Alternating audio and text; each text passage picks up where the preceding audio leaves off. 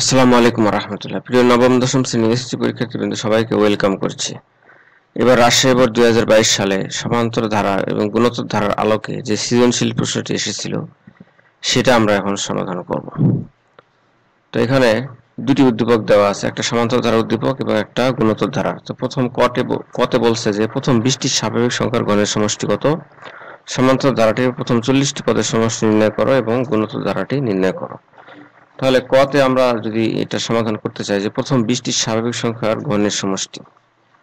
তো প্রথম বিশটি স্বাভাবিক সংখ্যার ঘনের সমষ্টি আমরা জানি যে এটা ক নাম্বার সমাধান, এখানে আমি সমাধান করে দিচ্ছি খুব ইজিলি আমরা জানি যে প্রথম এন সংখ্যক স্বাভাবিক সংখ্যার ঘনের সমষ্টি, অর্থাৎ one cube two cube three cube four cube dot dot এভাবে এন তম পদ পর্যন্ত টেনতম পদ পর্যন্ত গণের যে সমষ্টি, সেটা হচ্ছে n into n plus one divide by two whole square এখন এখানে যেহেতু বলছে যে প্রথম বিশটি, তাহলে এই এন এর মান হবে এখানে বিশ। সুতরাং one cube plus two cube plus three cube plus four cube plus dot dot এভাবে এন এর মান এখানে বিশ বসাই দেব। তাহলে এখানে এর কাটাকাটি করে এখানে দশ হয়। দশ তাহলে বিশ আর এক যোগ করলে একুশ হয়। তাহলে একুশ আর দশ গুণ করে দিলে আমাদের যেটা হবে সেটাই হচ্ছে অ্যান্সার অর্থাৎ এখানে একুশ গুণ দশ, অর্থাৎ দুইশো দশ হবে, দুশো দশের হোল স্কোয়ার তাহলে দুশো দশের হোল স্কোয়ার হচ্ছে দুশো দশ গুণ দুশো দশ, অর্থাৎ চুয়াল্লিশ হাজার একশো। তাই এটাই হবে অ্যান্সার জাস্ট সূত্র প্রয়োগ করে আমরা এনে মান জাস্ট বসিয়ে দিলাম। তোমরা খেয়াল করবা, যদি এখানে ঘনের সমষ্টি না থাকতো যদি বর্গের সমষ্টি থাকতো গণের জায়গায় যদি বর্গের থাকতো, তাহলে সূত্রটা কিন্তু একটু ভিন্ন হতো। তখন হতো যে one square plus two square plus three square plus dot dot dot এভাবে তাহলে টোয়েন্টির স্কোয়ার অর্থাৎ প্রথম বিশটি স্বাভাবিক সংখ্যার বর্গের সমষ্টি। তখন হতো কিন্তু, তাহলে বিশ বিশ যোগ এক টু ইন্টু বিশ যোগ এক ডিভাইডেড বাই সিক্স কারণ এটা সূত্রটা হচ্ছে যে one square two square three square plus dot dot dot dot n square is equal to n into n plus one into two n plus one divided by six এটা হচ্ছে প্রথম বিশটি স্বাভাবিক সংখ্যার ঘন বর্গের সমষ্টি আর এটা হচ্ছে ঘনের সমষ্টি। তো আশা করি তোমরা বুঝতে পেরেছি। এরপর আমরা খ নম্বর সমস্যার সমাধান করব যে কোনো সমান্তর ধারার পঁচিশতম পদ নিরানব্বই এবং একত্রিশতম পদ একশো পঁয়ত্রিশ হলে সমান্তর ধারাটির প্রথম চল্লিশটি পদের সমস্যা নির্ণয় করো। তাহলে সমাধান, তাহলে আমরা আমরা যেটা লিখব শুরুতে যে মনে করি সমান্তর ধারাটির প্রথম পদ হচ্ছে এ সাধারণ অন্তর হচ্ছে ডি সমান্তর ধারার ক্ষেত্রে এই দুটো প্রথমে ধরে নিতে হয়। তাহলে যেহেতু এখানে বলছে যে পঁচিশতম পদ, তাহলে আমাদের এনতম পদের সূত্র অ্যাপ্লাই করতে হবে। আমরা জানি সমান্তর ধারার এনতম পদ a plus n minus one into d তাহলে যেহেতু এখানে পঁচিশতম পদ বের করতে বলছে, তাহলে এন এর মান এখানে পঁচিশ। সুতরাং ধারাটির পঁচিশতম পদ হবে এ প্লাস পঁচিশ বিয়োগ এক গুণন ডি অর্থাৎ ইজিক্যাল টু হবে আমাদের a plus twenty four d অর্থাৎ এখানে টোয়েন্টি ফাইভ থেকে ওয়ান বিয়োগ দিলে টোয়েন্টি ফোর ডি এবং একত্রিশতম পদ, অর্থাৎ এন এর মান যদি একত্রিশ হয়, তাহলে আমরা পাই যে এ প্লাস একত্রিশ বিয়োগ এক গুণন ডি, অর্থাৎ সমান সমান আমরা পাই এ প্লাস থার্টি ডি। তাহলে এই, এইটা আমরা সমীকরণ আকারে লিখব, যেহেতু এখানে পঁচিশতম পদ বলছে নিরানব্বই, তাহলে এখানে এই যে পঁচিশতম পদ কিন্তু এটা। তাহলে এটা সমান আমরা নিরানব্বই লিখব এবং এই যে একত্রিশতম পদ যেটা এ প্লাস এই যে তিরিশ ডি পাওয়া গেল, এটা একশো পঁয়ত্রিশ। অর্থাৎ এই দুটাকে আমরা একটা সমীকরণ আকারে লিখব। তাহলে সুতরাং প্রশ্ন মতে a plus twenty four d is equal to ninety nine এটাকে এক নম্বর সমীকরণ দেব। এবং a plus thirteen d is equal to one hundred and thirty five এটাকে দুই নম্বর সমীকরণ দেবো। তাহলে এই টাইপের ম্যাথ করার ক্ষেত্রে প্রথমে যে শর্ত দেওয়া থাকবে, সেই শর্তের আলোকে দুটি সমীকরণ গঠন করতে হবে। এখন আমাদের এই যে দেখো, চল্লিশটি পদের সমষ্টি, অর্থাৎ সমষ্টি সূত্র প্রয়োগ করে মান নির্ণয় করার জন্য অবশ্যই আমাদের এ আর ডি এর মান লাগবে। কারণ সমান্তর ধারার ক্ষেত্রে এ আর ডি এর মান যদি না জানা থাকে, তাহলে কিন্তু কিছুই করা যাবে না। তাহলে সমান্তর ধারার ক্ষেত্রে এ আর ডি মানটা আগে বের করে নিতে হয়, তারপরে বাকি কাজটা করা লাগবে। তাহলে আমরা এ আর ডি এর মান কীভাবে পাবো? এই সমীকরণ, এই দুই থেকে সমীকরণ যদি এক বিয়োগ দেই, তাহলে আমরা এর মান পাবো। সরি ডির মান পাবো। তাহলে আমরা করি যে সমীকরণ দুই বিয়োগ এক বা, অর্থাৎ এই সমীকরণ থেকে আমাদের এই সমীকরণ বিয়োগ দেবো। অর্থাৎ a plus thirteen d minus a minus twenty four is equal to one hundred thirty five minus ninety nine এখানে দেখো, এইখানে কিন্তু এই যে minus a plus twenty four twenty four d এরকম কিন্তু ছিল। এখন ব্র্যাকেট উঠাই দিয়ে আমরা এই যে প্লাসে মাইনাসে মাইনাস করেছি। এবং ডান পাশে একশো পঁয়ত্রিশ থেকে নিরানব্বই বিয়োগ দিয়েছি। তোমরা চাইলে এক বিয়োগ দুই করতে পারতা। এক বিয়োগ দুই করলে কি হয় দেখো, a minus a plus twenty four d minus a minus thirty d is equal to হয় নিরানব্বই বিয়োগ একশো পঁয়ত্রিশ। এইভাবে করা যেত। এইভাবে করলে একটা মাইনাস আসতো, তো মাইনাস উভয়পক্ষে মাইনাস বাদ দিয়ে সমাধান করা লাগতো। তো আমরা পরের লাইনে চলে যাই। আমরা দুই বিয়োগ এক করে যেটা পাই যে এখানে এই যে এ কাটা যায় এবং তিরিশ থেকে চব্বিশ গেলে ছয় থাকে এবং একশো পঁয়ত্রিশ থেকে নিরানব্বই বিয়োগ গেলে ছত্রিশ থাকে। এখন ডির মান বের করতে হবে, তাহলে ছয়টাকে ডান পাশে পাঠায় দিতে হবে, তাহলে ডান পাশে গেলে এটা ভাগ হয়ে যায়। তাহলে এটা কাটাকাটি করে আমরা পাই ডির মান হচ্ছে সিক্স এখন এই ডির মানটা আমরা কি করব? যে কোনো একটা সমীকরণে বসালে আমাদের এর মান পাওয়া যাবে। অর্থাৎ আমরা যদি এক নঙ্গে এক নঙ্গে বসাই, তাও হবে। যদি আমরা দুই নঙ্গে বসাই, তাও হবে। তাহলে দুই নং অথবা এক নং যে কোনো একটা সমীকরণে আমরা ডি এর মান বসাই। তাহলে নেক্সট লাইনে আমরা ডি এর মান সমীকরণ একে বসিয়ে পাই।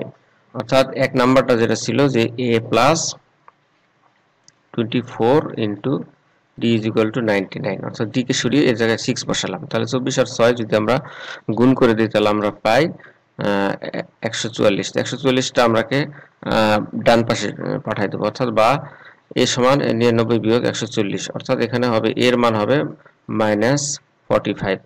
কারণ বড়টার চিহ্ন যেটা থাকবে, বড় সংখ্যার সামনে যে চিহ্ন থাকবে, সেই চিহ্ন বসাতে হবে। তাহলে এর মান আমরা পেয়ে গেলাম। এখন ধারাটির প্রথম চল্লিশটি পদের সমষ্টি নির্ণয় করতে হবে। তার তাহলে আমরা জানি যে সমান্তর ধারার প্রথম এন সংখ্যক পদের সমষ্টি n by two into two a plus n minus one into d তাহলে এখানে এন এর মান হবে চল্লিশ, অর্থাৎ এখানে চল্লিশটি পদের সমষ্টি নির্ণয় করতে বলছে। সুতরাং প্রথম চল্লিশ সংখ্যক পদের সমষ্টি, অর্থাৎ এন এর মান চল্লিশ বসাবো, এর মান হচ্ছে এখানে মাইনাস ফোর্টি ফাইভ এন এর মান চল্লিশ এবং ডির মান এখানে ছয়। তাহলে আমরা যদি এটা কাটাকাটি করলে কিন্তু এখানে বিশ হয়। তাহলে নেক্সট লাইনে বিশ এবং এই যে পঁয়তাল্লিশ আর এই যে দুই গুণ করে দিলে মাইনাস নাইনটি প্লাস এবং চল্লিশ থেকে এক গেলে উনচল্লিশ উনচল্লিশ থেকে ছয় সাথে সাথে গুণ হবে।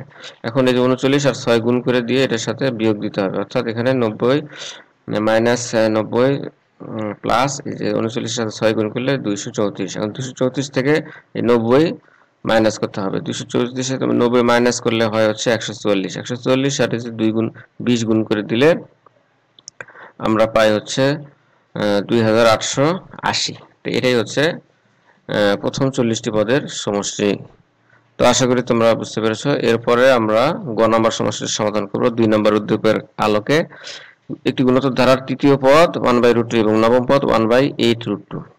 তাহলে এই অঙ্কটা তোমাদের অনুশীলনী তেরো দশমিক দুই এর দেখবা যে আট নম্বর অঙ্কটা আমি আমার এই ভিডিও চ্যানেলে প্লে লিস্টে দেওয়া আছে সমাধান করা।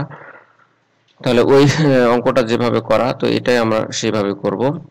এখানে ধারাটি নির্ণয় করার জন্য আমাদের অবশ্যই এ এবং আর এর মান বের করতে হবে। কারণ গুণত ধারা যে জেনারেল ফরম্যাট যেটা, সেটা হলো যে প্রথম পদ এ, দ্বিতীয় পদ হচ্ছে এ আর, তৃতীয় পদ হচ্ছে এ আর স্কোয়ার চতুর্থ পদ হচ্ছে a r cube plus dot dot এভাবে চলবে। অর্থাৎ এটাই হচ্ছে গুণোত্তর ধারার জেনারেল ফরম্যাট এখানে এ এবং আর এর মান যদি বসায় দিই, বসায় দিয়ে ক্যালকুলেশন করলে আমাদের গুণোত্তর ধারাটি নির্ণয় হবে। এখন আমরা সমাধান করি। তো প্রথমত গুণোত্তর ধারার ক্ষেত্রে আমাদের প্রথমত ধরে নিতে হয় যদি ধারাটির প্রথম পদ হচ্ছে এ এবং সাধারণ অনুপাত হচ্ছে আর সমান্তর ধারার ক্ষেত্রে সাধারণ অন্তর লিখতে হয় এবং গুণোত্তর ধারার ক্ষেত্রে সাধারণ অনুপাত। কারণ গুণোত্তর দ্বারা হচ্ছে যে কোনো সংখ্যা তার আগের সংখ্যার ভাগফল। তাহলে যেহেতু এখানে ধারার তৃতীয় পদ দেওয়া আছে, তাহলে তিন নাম্বার পদটা দেওয়া আছে এবং নয় নাম্বার পদটা দেওয়া আছে। সুতরাং আমাদের এন্তম পদের সূত্র এখানে অ্যাপ্লাই করতে হবে। তো সুতরাং আমরা গুণোত্তর ধারার যে এন্তম পদ, সেটা সমান জানি যে a r to the power n minus one তাহলে এখানে যেহেতু তৃতীয় পদ বলছে, তো এন এর মান আমরা তৃতীয় তিন বসাই। তাহলে তৃতীয় পদ হবে a r three minus one is equal to a r to the power two অর্থাৎ এ আর স্কোয়ার হবে। এবং এখানে নবম পদ হবে হচ্ছে তোমার a r to the power nine minus one অর্থাৎ a r to the power eight এখন প্রশ্ন মতে আমাদের লিখতে হবে যে শর্ত দেওয়া আছে। তৃতীয় পদ হচ্ছে ওয়ান বাই রুট টু এবং নবম পদ হচ্ছে one by eight root two তাহলে প্রশ্ন মতে আমরা লিখব, তৃতীয় পদ হচ্ছে যে এটা, অর্থাৎ a r square is equal to আমরা লিখব ওয়ান বাই রুট টু এবং a r to the power eight is equal to আমরা লিখব one by eight root two এবং এটাকে আমরা এক নম্বর সমীকরণ দেব এবং নবম পদ যেটা, a r to the power eight is equal to one by eight root, এটাকে আমরা দুই নম্বর সমীকরণ দিলাম।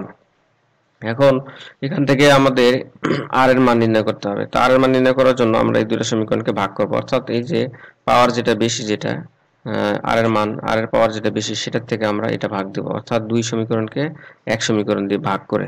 তাহলে নেক্সট লাইন আমরা যেটা করব যে দুই ভাগ এক করে পাই। অর্থাৎ এই যে এ টু দি পাওয়ার এইটের সাথে এ স্কোয়ার ভাগ এবং ডান পাশে এই যে ওয়ান বাই এইট রুট টুর সাথে ওয়ান বাই রুট টু ভাগ হবে। তাহলে ভাগ করলে যেটা হয়, দেখো এখানে এটার আগের লাইনটা যে এই যে এটার সাথে এটা ভাগ, অর্থাৎ এখানে দেখো ওয়ান বাই এইট রুট টুর সাথে ভাগ হচ্ছে তোমার ওয়ান বাই রুট টু তা আমি এখানে একবার এই লাইনটা কাজ করেছি, কারণ ভাগের কাজই হচ্ছে তোমার হচ্ছে গুণ হয়ে সেটা কি হবে? উল্টে যাবে। অর্থাৎ এই ভগ্নাংশটা উল্টে যাবে এটা। এইভাবে হবে। তাহলে এর পরের লাইনে দেখো যে এ কাটা যায় এবং এই যে উপরে আর টু দি পাওয়ার এইট আছে এবং নিচে আর স্কোয়ার আছে। তাহলে এই দুটাকে কাটাকাটি করে আমরা পাই আর টু দি পাওয়ার সিক্স এবং এই যে রুট টু রুট টু কাটা যায়, থাকে হচ্ছে ওয়ান বাই এইট তাহলে পরের লাইনে আমরা পাই যে r to the power six is equal to one by eight কারণ দেখো উপরে আট আর আছে আটটা, নিচে আছে দুইটা। তাহলে কাটাকাটি করে আমাদের ছয়টা আর থাকে। এটা সূচকের নিয়মে করা যায়। কারণটাকে দেখো, যে ভিত্তি যদি একই থাকে, তাহলে দেখো এই কাটা যাওয়ার পরে আর টু দি পাওয়ার এইট নিচে থাকে হচ্ছে আর স্কোয়ার। তাহলে ভিত্তি যদি একই হয়, এটা ভিত্তি হচ্ছে আর এখানে। ভিত্তি যদি একই হয়, তাহলে পাওয়ার বিয়োগ হয়। তাহলে r to the power six হয়। তাহলে r to the power six is equal to one by eight এখন এখানে কীভাবে মান নির্ণয় করবা? তাহলে এটা মান নির্ণয় করার জন্য একটা শর্ট টেকনিক করতে হবে যে আর এর মান। তাহলে দেখো, এই যে ওয়ান বাই এইটকে আমরা লিখতে পারি ওয়ান বাই টু কিউব এবং এটাকে আমরা লিখতে পারি one by two whole cube আবার দেখো ওয়ান এই টুকে আমরা লিখতে পারি root two whole square one by root two whole square এটার মানে কিন্তু হাফ এবং আমরা ব্র্যাকেট দিয়ে আর একটা সেকেন্ড ব্র্যাকেট দিয়ে আমরা এটা লিখতে পারি। এবং দেখো, এই যে পাওয়ারের পর আবার গুণ হয়ে যায়, তাহলে one by root two whole to the পাওয়ারে পাওয়ার পর গুণ হলে সিক্স হয়। তাহলে আমাদের এই ফরম্যাটে এটাকে আনতে হবে। অর্থাৎ এখানে পরের লাইন আমরা যেটা লিখতে পারি r to the power six equal to one by root two whole to the power six কারণ আমাদের পাওয়ার সেম করতে হবে। তাহলে পাওয়ার সেম করার পর আমরা এই যে সূচকের যে নিয়ম আছে, যে e the power x equal to e the power y হলে। অর্থাৎ ভিত্তি যদি সেম হয়, তাহলে আমরা পাওয়ার দুটা সমান লিখতে পারি এবং কিছু এখানে কিছু কন্ডিশন আছে। তাহলে সুতরাং এখানে দেখো ভিত্তি পাওয়ার এখানে যেহেতু একই, তাহলে আমাদের ভিত্তি সমান লিখতে পারব আমরা। তাহলে আর সমান ওয়ান বাই রুট তাহলে আর এর মান আমরা পেয়ে গেলাম। এখন আর এর মান এই সমীকরণ এক অথবা দুই যে কোনো একটাতে বসালে আমরা এর মান পাবো। কারণ গুণত ধারা নির্ণয় করতে গেলে আমাদের এ এবং আর এর মান দরকার। তাহলে আর এর মান নির্ণয় করার জন্য আমাদের সমীকরণ এক অথবা দুই যে কোনো একটাতে আমরা বসাই দেই। তাহলে আর এর মান যদি আমরা একে বসাই, তাহলে a r square equal to one by root এটা হচ্ছে এক নম্বর সমীকরণ। তাহলে এখানে আর এর মান যেটা, সেটা আমরা বসাই দিই। অর্থাৎ one by root two whole square equal to one by root two. তাহলে one by root two whole square এটা মানে হচ্ছে ওয়ান বাই টু। তাহলে a into one by two এবং ডান পাশে থাকে ওয়ান বাই রুট টু। এখন এই যে ওয়ান বাই টু, অর্থাৎ এই টুটা ওই পাশে যেটা গুণ হয়ে যাবে। অর্থাৎ এ সমান আমরা পাই টু বাই রুট টু কারণ এটা এভাবে গুণ হয়ে যাবে। হ্যাঁ এরপরে দেখো, একটা রুট টু সমান আমরা দুইটা রুট একটা দুই সমান দুইটা রুট টু আমরা লিখতে পারি। অর্থাৎ এই যে দেখো এটা সমান কিন্তু আবার দুই লেখা যায়। সরি এটা এভাবে না। অর্থাৎ এখানে দুই সমান আমরা root two into root two লিখতে পারি। অর্থাৎ এটা সমান আবার এই যে root two whole square is equal to two এভাবে লেখা যায়। তাহলে এই টু এর পরিবর্তে আমরা লিখব দুইটা রুট টু অর্থাৎ এখানে root two into root two তাহলে এই যে এটা কাটা গিয়ে শুধু এর মান পাওয়া যায় হচ্ছে রুট টু তাহলে আমরা এ এবং আর এর মান আমরা পেয়ে গেলাম। তাহলে এখন গুণত ধারাটি জেনারেল ফর্মে যেটা, সেটা আমরা লিখি যে ধারাটি হবে a plus a r plus a r square plus a r cube plus এইভাবে ডট ডট ডট এভাবে। এটা হচ্ছে গুণোত্তর ধারা। এখন এ এবং আর এর মান আমরা বসিয়ে দিই। এর মান আমরা পেলাম রুট টু এবং আর এর মান হচ্ছে ওয়ান বাই রুট টু তাহলে দেখো এর মান root two a into one r অর্থাৎ এর মান রুট টু আর এর মান ওয়ান বাই রুট টু তারপরে এই যে এখানে ওয়ান বাই এবার মান বসিয়ে দিলাম। এবার দেখো যে এটা কাটা যায় এবং এই যে এটা ক্যালকুলেশন করলে হয় ওয়ান বাই টু এবং এটা ক্যালকুলেশন করলে হয় one by two root two তাহলে নেক্সট লাইনে যেটা হবে two plus one two root two into one by two root two এবং দেখো এটা এই যে রুট টু এবং এই যে এইটা ক্যালকুলেশন কীভাবে হলো? দেখো, তো one by root two whole cube এটার মানে হচ্ছে ওয়ান বাই রুট টু এইভাবে লিখতে পারি, কারণ ওয়ানের কিউব লেখা মানে ওয়ানই হয়। তাহলে এখানে এই জিনিসটা সমান হচ্ছে one by root two whole square into root two এটাকে আমরা এভাবে লিখতে পারি। তাহলে ওয়ান বাই রুট টু মানে রুট টু হোল স্কোয়ার মানে শুধু টু আর থাকে হচ্ছে রুট টু তাহলে যে এই পদের পরিবর্তে আমরা এটা লিখতে পারি। এখন এইটার থেকে আরেকটু মডিফাই করি, অর্থাৎ এই যে এটা কাটা, কাটাকাটি যায়। এবং এখানে দেখো, এই রুট টু বাই টু এই এই টু সমান কিন্তু আবার দুইটা রুট টু লিখতে পারি আমরা। এটার পরিবর্তে আমরা root two into root two লিখতে পারি। তাহলে দেখো এই রুট টু আর একটু কাটা যায়। তো নেক্সট লাইনে যেটা হয় root two plus one one by root two থাকে, এবং এখানে থাকে হচ্ছে হাফ প্লাস ডট ডট এইভাবে চলবে। তো আশা করি তোমরা বুঝতে পেরেছ এটাই হচ্ছে গুণোত্তর ধারার